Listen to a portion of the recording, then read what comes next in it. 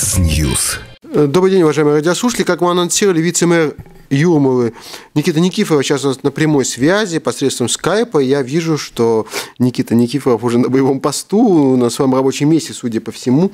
Карта Юрмала за его спиной, если я не ошибаюсь. Да? Э, я так понимаю, что вы продолжаете работать, несмотря на чрезвычайную ситуацию.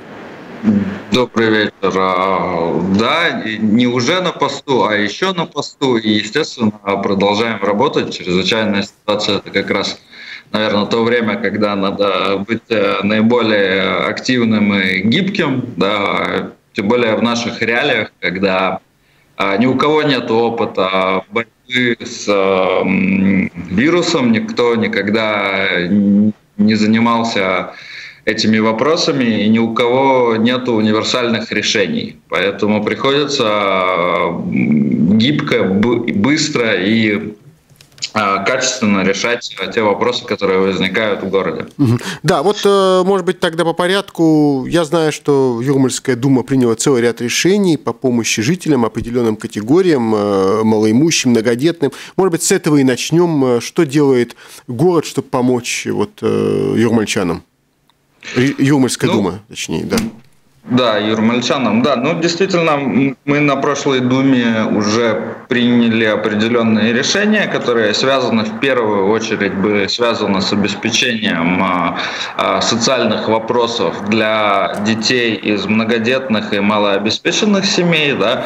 Я думаю, что ни для кого не секрет, что сейчас занятий в школе нету. И, соответственно, дети, которые в Юрмале, это были дети э, всех классов, которые получали горячее обеды, а для некоторых, возможно, это была единственная горячая пища в день, они были лишены этой возможности. Поэтому э, довольно оперативно мы организовали доставку горячей еды э, детям из многодетных и малообеспеченных семей. Это развозится каждый день э, каждый рабочий день эти порции. И для некоторых это большое подспорье и а, большое, большая помощь. Да? Таких а, детей чуть больше ста.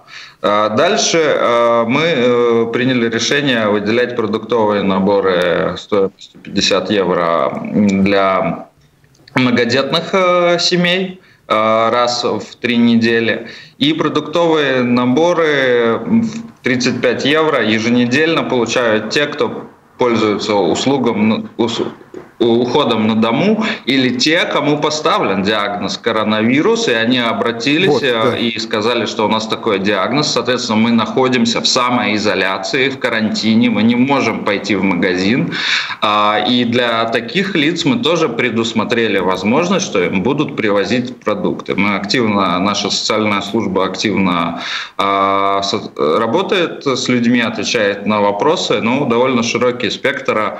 А, хочу отметить, что мы это сделали, не дожидаясь каких-либо инструкций от э, Министерства, от Министерства образования, как можно или как нельзя кормить детей, да, потому что э, вопрос был срочный, и нельзя было ждать, пока э, наш гениальный министр э, придет с какой-то инструкцией или мнением, мы просто взяли и начали кормить детей и, и возить эти горячие обеды. Я так понимаю, что министр так до, до сих пор и не высказалась э, по поводу того, как же нужно действовать, на ее взгляд. Она там критиковала целый ряд самоуправлений, но никаких конкретных инструкций по сей день нет, я так понимаю, да? Ну, она что-то сказала, что нельзя эти деньги, которые государство софинансирует. Я напомню, что с этого года государство только софинансирует, софинансирует эти обеды да. на 50%. И нельзя эти деньги, которые мы государство софинансирует, использовать для продуктовых карточек или для продуктовых пакетов, что это должны быть только обеды. Да? Но это было настолько запоздало, я бы сказал, да, потому что к тому моменту, когда она это сказала, по крайней мере, Юрмала уже две недели как кормила своих детей. Угу. Что касается вообще вот, э, жизни в Юрмале, Вроде бы и скоро начинается летний сезон, но он сейчас особый, поскольку мы не знаем, э, будет ли после 12 мая продлиться ли вот эта чрезвычайная ситуация или нет. Вот э, что, как Юрмала готовится в нынешних условиях, когда понятно, что туристов из-за границы пока нет, откроют ли границы, когда, что, вот какие есть нюансы, что вы можете уже прогнозировать с точки зрения поступления в городскую казну в этой ситуации? Ну, э, начнем с последнего. С точки зрения поступления в городскую казну, наверное, кроме того, что поступление снизится, прогнозировать больше ничего невозможно. Да? Какие-то более точные данные мы получим а, в конце второго квартала, когда госкасса и ВИД э, скажет, как собирается налог, а, в первую очередь подоходный налог с населения, который является первоочередным а, в структуре доходов любого самоуправления, в том числе и Юрмала. У нас а, есть несколько направлений действий. Первое, это естественно, что мы понимаем, что нам придется отказаться от целого ряда традиционных наших юрмальских мероприятий. Это праздник курорта, это веломарафон в начале мая и так далее. Да? Но пока мы не можем прогнозировать, а, от каких еще. Да? Например, а, праздник Каугури, который традиционно проходит а, в начале сентября, в конце августа, да? но выглядит, что, наверное, он, будет, э, он уже будет. Да? Но для того, чтобы он состоялся где-то уже после лига, то есть в надо конце июня да. нам надо начинать процедуру закупки. А, это первое. Второе. Это все, что связано с а, деятельностью концертного зала Дзинтери. Потому что э, там не только приезжают исполнители, но и приезжают зрители. Да? У нас есть целый ряд международных мероприятий очень высокого уровня, которые ну, находятся в некотором такой неизвестности, да, потому что сейчас нету ни авиасообщения и и, и не могут приехать не только артисты, но и зрители. У нас по статистике приблизительно 67% туристов в Юрмале это иностранцы. Поэтому, ну, безусловно, я думаю, что можно и нужно говорить о том, что в этом туристическом сезоне мы не увидим прироста, прироста туристов. А, это числа так, туристов. Это так, дипломатически говоря, да? Да, но однако хотелось бы мне отметить, что если мы посмотрим статистику, например, 18-19 год, да, то прирост числа туристов в целом за год составил 5,4%, а если сравнивать январь 2019 года и январь 2020 года, то 24%. И, и почему я хочу это отметить? Ну, я думаю, что это говорит о том, что, в принципе, мы с точки зрения а, развития туризма делаем все правильно. И люди в Юрмалу едут. Но сейчас едут. мы оказались действительно а, в такой неординарной ситуации, когда даже делая правильно, мы не можем получить ожидаемого результата. Вот, ну, мы знаем, что той ситуации, по крайней мере, так логика подсказывает, когда люди не могут выехать, мы сейчас говорим о жителях Латвии самих, не о туристах, а о жителях Латвии, им хочется побывать где-то на природе, ну, мы знаем по многим знакомым, и рижане все-таки, особенно выходные, и не только выходные, сейчас многие находятся так вот в таком вынужденном отпуске, все-таки куда-то надо выехать, они уезжают, естественно, из Риги в Юрмалу, с одной стороны, это хорошо, поскольку с 1 апреля, надо напомнить, все-таки плата за въезд опять возобновляется. А но с другой стороны, есть, наверное, опасность, что как бы не создали вот на этой тропинке э, здоровье или на пляже вот э, такую толчею, где уже никакого 2 метра нет. Что Юрмала может делать вот в этой ситуации, когда, с одной стороны, вы заинтересованы, чтобы люди приезжали, а с другой стороны, есть все эти санитарные нормы?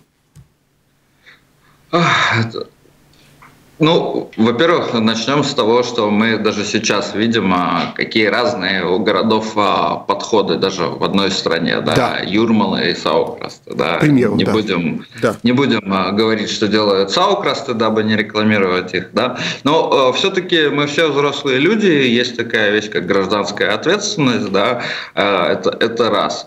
Два. Знаете, я где-то видел, что кто-то посчитал, что если собрать всех жителей Латвии и выстроить их а, цепочкой по территории Латвии, то расстояние между ними будет даже не 2 метра, а 180 метров.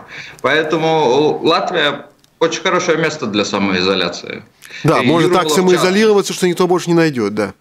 Это правда. Юрмала да. в частности, да? да. Поэтому в конце концов прогулки, свежий воздух, а, пляжи, а, только способствуют здоровью. Я не думаю, что во всей этой кризисной ситуации главное не поддаваться в панике и не кидаться в крайности. Да? Собственно говоря, этим мы пытаемся здесь заниматься и планомерно продолжать выполнять свои обязательства перед юрмальчанами. Да, что касается местного бизнеса, понятно, что это частные компании, есть какая-то сейчас э, со всеми оговорками государственная программа помощи, и тем не менее, все-таки они находятся в Юрмале, я говорю, там, не знаю, кафе, рестораны.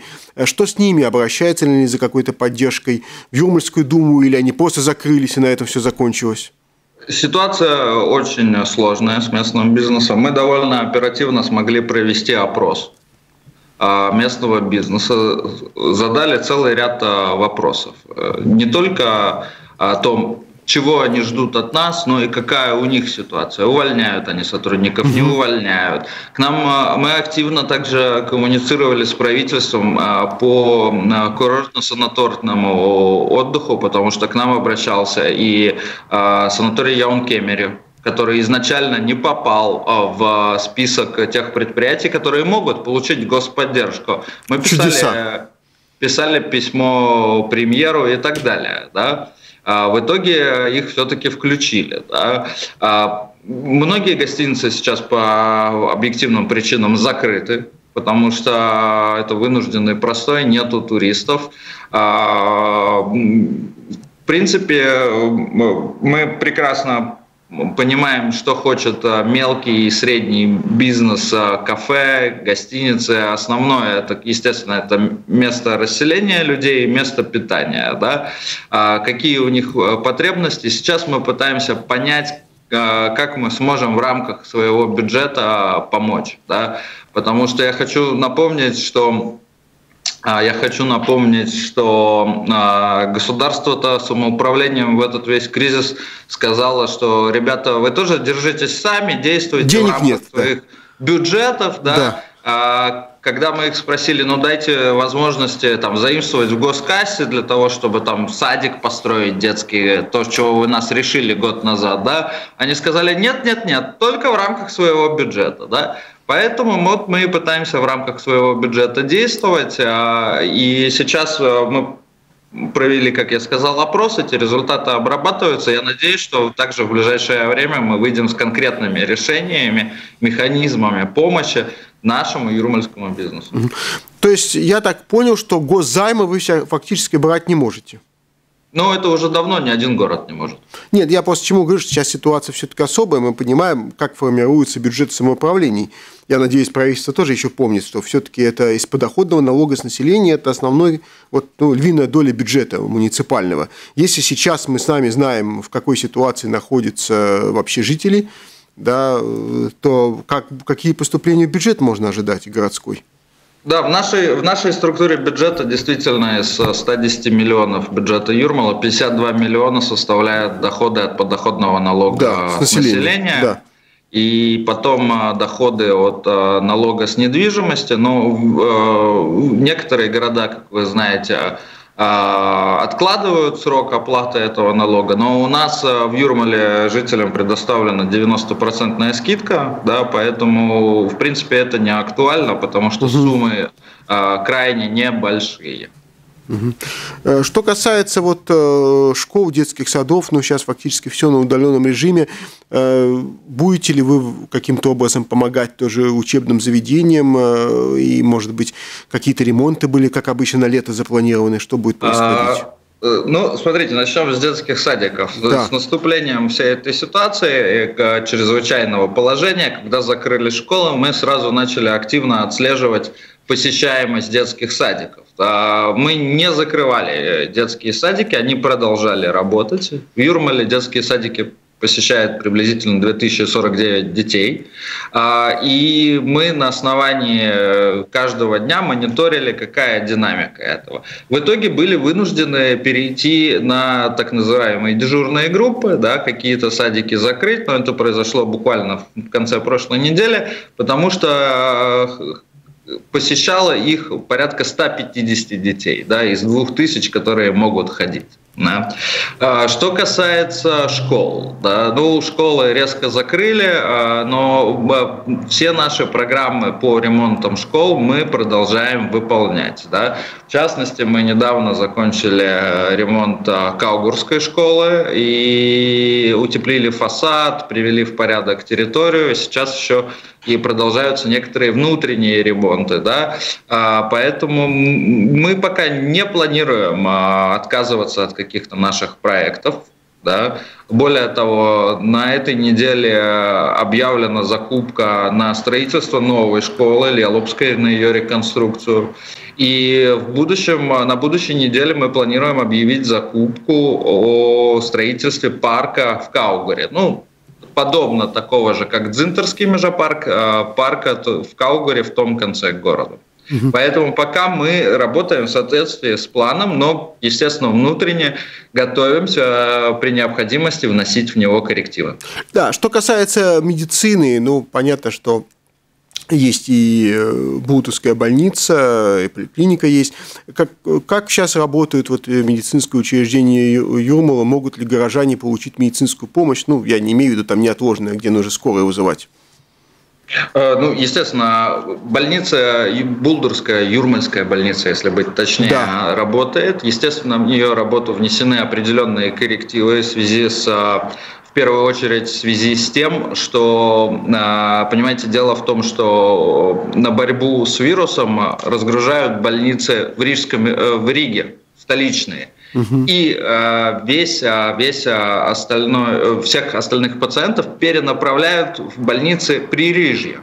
Да? То есть в том числе Нагрузка, и в Юрмальскую, да. В том числе и Юрмальскую. Нагрузка на врачей возросла. И это одна из э, тем, которые я обсуждал с коллегами на собрании Ассоциации больших городов, потому что мне кажется несправедливым то, что правительство сейчас предложило доплачивать 50% э, тем медикам, которые работают с больными, э, больными вирусом, этим коронавирусом, но не предложила доплачивать им коллег, их коллегам, у которых нагрузка увеличилась в несколько раз – потому что направляют э, больных из Риги э, в э, другие больницы. Это относится в равной степени и к Юрмале, и к Елгове, и к Огре и так далее. Да? И это действительно несправедливо. Я этот вопрос поднял, но, к сожалению, министр Рейерс, который участвовал тоже в этом видеосовещании, ничего вразумительного на этот счет сказать не смог. Да. Вот, ну, фактически, Никита, вы уже начали частично отвечать на этот вопрос. Все-таки, как вы оцениваете э, вот, э, действия правительства в этот кризисный период? Потому что есть два мнения. Одни считают, что все делается верно, и деньги большие – по крайней мере, так мы слышим, сначала сказали миллиард, потом еще миллиард, сейчас уже четыре с половиной э, миллиарда, вроде бы. С другой стороны, очень от многих людей слышим, что вроде бы деньги выделены, а вот до них не дошло, и до этого бизнеса не дошло, и до этого бизнеса, и для этих работников не хватило и так далее. Да? Вот э, как вы оцениваете? Я думаю, чтобы ответить на этот вопрос, э, нужно посмотреть хотя бы на наших прибалтийских соседей. Как с кризисом борются они. Да. Если мы посмотрим хотя бы на Литву и Эстонию, мы поймем, что а, ограничений гораздо меньше. Гораздо меньше. А, при этом э, денег почему-то до конечного домохозяйства, до конечного предпринимателя доходит больше. Да? А, у нас же все это происходит так. Сначала приняли, ой, забыли самозанятых, ой, забыли членов правления, а вдруг пройдет. Нет, не прошло, люди стали возмущаться, приходится опять что-то изменять. Честно говоря, со стороны мне напоминает э, это, что есть какие-то вот э, политические договоренности, что вот тем денег давать нельзя, да? но как это сделать так, чтобы э, только тем не дать, они сами не знают. Думаю, что эффективность, эм, мне кажется, эффективность мер э, довольно, э, довольно низкая.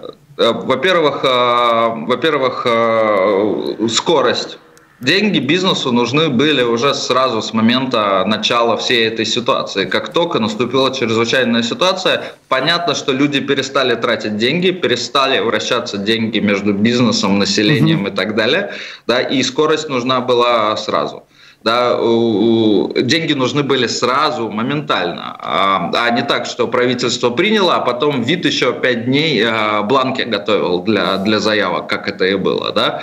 Теперь, Думаю, что вся эта ситуация также может, а, ее надо использовать на, на пользу. Да? Безусловно, помощь надо в первую очередь оказывать тому бизнесу, кто честно платит налоги. Да? Вот сейчас вид может это все выяснить, да, и в том, числе, в том числе, да, потому что э, эта помощь оказывается в конечном счете из наших с вами денег. Да?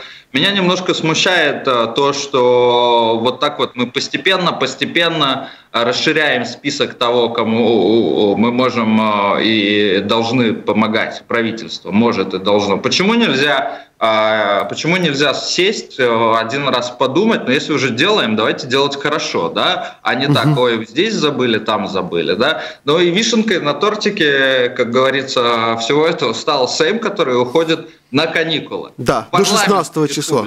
Да. В парламентской республике Сейм решил, что он уходит во время чрезвычайного положения, он выходит на каникулы. Да? Ну, как можно еще оценивать помощь а, нашего государства всем нам? Да.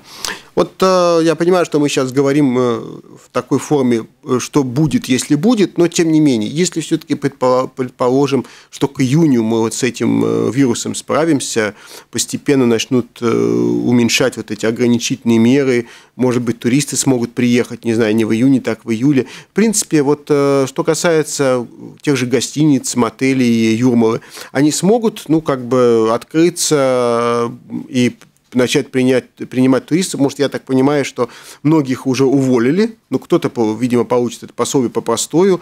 Вот э, какие есть вообще прогнозы? Э, ну, мы рассматриваем внутри несколько моделей того, как будет развиваться ситуация. Да.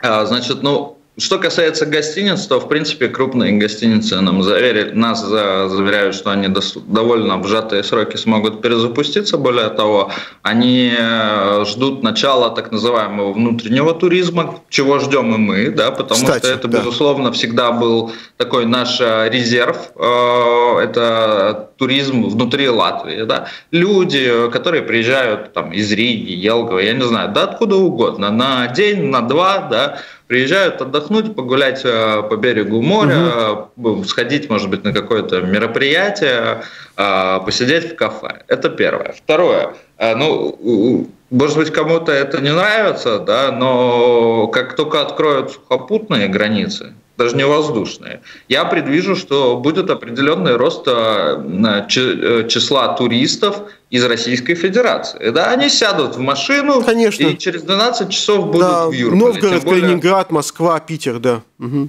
Совершенно верно, совершенно верно. Я, поэтому довольно уникальная ситуация. Мы, наверное, в этом году э, в глазах россиян будем конкурировать с Италией и Испанией да, куда они вряд ли э, э, решатся ехать э, в тех условиях, которые сейчас существуют. Да. А наша задача как города и управленцев подготовиться, чтобы эта конкуренция прошла на достойном уровне.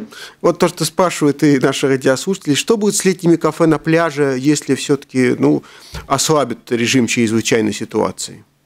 Я очень надеюсь, что они будут работать. К сожалению, нам пришлось а, в самом начале чрезвычайной ситуации, у нас были запланированы уже аукционы да. по аренде участков на пляже, да. которые нам пришлось, к сожалению, отменить, потому что мы не могли их проводить очно, да, а, но мы готовы их провести опять. А, надеюсь, что кафе будут работать. Те, кто не смогут э, работать, ну, значит, мы будем опять э, сдавать э, в аренду эти участки. А, безусловно, город заинтересован в том, чтобы какой-то определенный уровень сервиса, в том числе и на пляже, а, поддерживался и существовал. Я так понимаю, что удалось частично решить проблему вот этой знаменитой 36-й линии, которая сейчас в Дублте обитает, так я понимаю.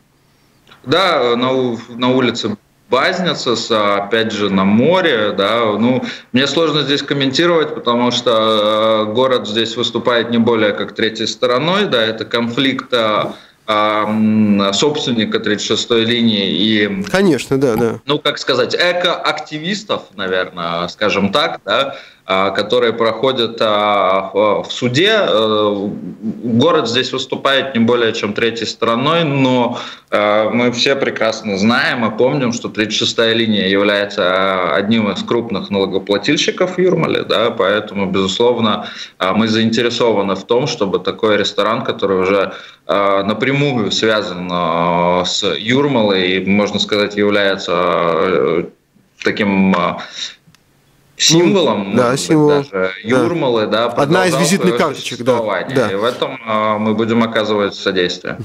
Э, наверное, не могу не задать вопрос, э, связанный с обеспечением вот этого режима самоизоляции и социального дистанцирования. Муниципальная полиция Юрмала, я так понимаю, тоже подключилась вот к контролю этих мероприятий.